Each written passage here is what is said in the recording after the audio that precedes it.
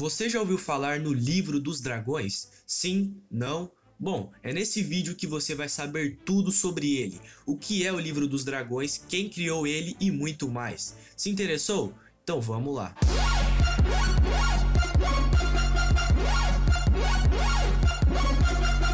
E aí pessoal, beleza? Eu sou o Lucas e sejam bem-vindos a mais um vídeo aqui no meu canal.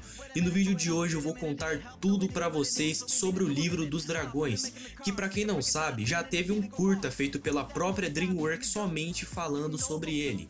Um curta é tipo um filme com pouco mais de 30 minutos feito sobre determinado assunto. Nesse caso, o curta teve 18 minutos. Porém, vamos por partes.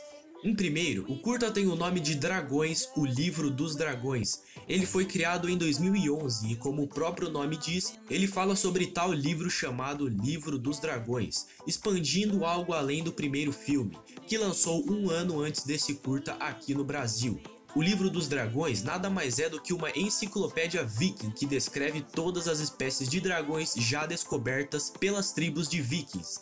Esse livro foi algo muito importante para o conhecimento deles antes do primeiro filme, pois era através dele que os vikings sabiam as fraquezas e os melhores métodos para matar os dragões, já que naquela época eles não tinham a ideia de que os dragões eram amigos, e como eles eram caçados, o livro era algo muito além sobre os dragões, que ajudava muito a saber mais sobre sobre as criaturas que eles capturavam. Esse livro é tão antigo que, pelo que é contado, ele surgiu antes mesmo do estoico do Bocão nascer.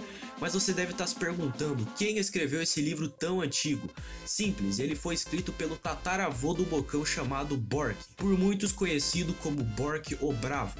Bork foi o primeiro viking a se adentrar no mundo dos dragões e teve uma experiência muito impressionante com eles, sendo também o criador das classes de dragão, que futuramente foi integrado ao livro dos dragões pelos outros vikings anos mais tarde.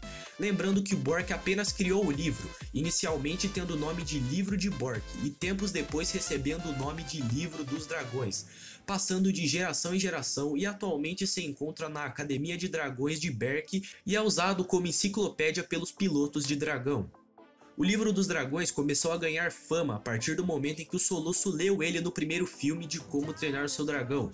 Várias pessoas acharam incrível essa ideia de descrever os dragões e suas características e classes em um livro, e foi assim que surgiu o curta-metragem, dando mais ênfase para o próprio livro e nos dizendo coisas que não sabíamos sobre ele, como por exemplo quem o criou e por quê. O mais interessante disso tudo são as teorias, pois o Soluço nos mostrou apenas algumas páginas desse incrível livro, e dá para perceber claramente que existem muitas outras páginas ainda a serem exploradas, e existe uma teoria de explodir a mente. Bom, se o Bork descreveu todos os dragões que ele teve contato, será que ele teve contato com Fúria da Noite? A resposta é sim, mas no livro está apenas o nome Fúria da Noite e não tem mais nada escrito. Porém isso não significa nada, já que ele pode ter encontrado um Fúria da Noite à noite, dificultando ele decifrar o tamanho, a velocidade e o poder de fogo. Ou seja, Bork foi talvez o primeiro viking a ter contato com o Fúria da Noite e não o Soluço, mas isso é apenas uma teoria. Ainda há muitos segredos escondidos nesse livro, já que não foi mostrado completamente, mas o certo é pensarmos que sem esse livro os vikings de Berk não teriam o mesmo conhecimento que eles tinham sobre os dragões, e que ele ajudou muito no desenvolvimento do filme, de forma parcial, porém ajudou. Se você tiver mais interesse no livro dos dragões, eu recomendo que assista ao curta inteiro, são apenas 18 minutos, mas já é o suficiente para saber muito sobre ele.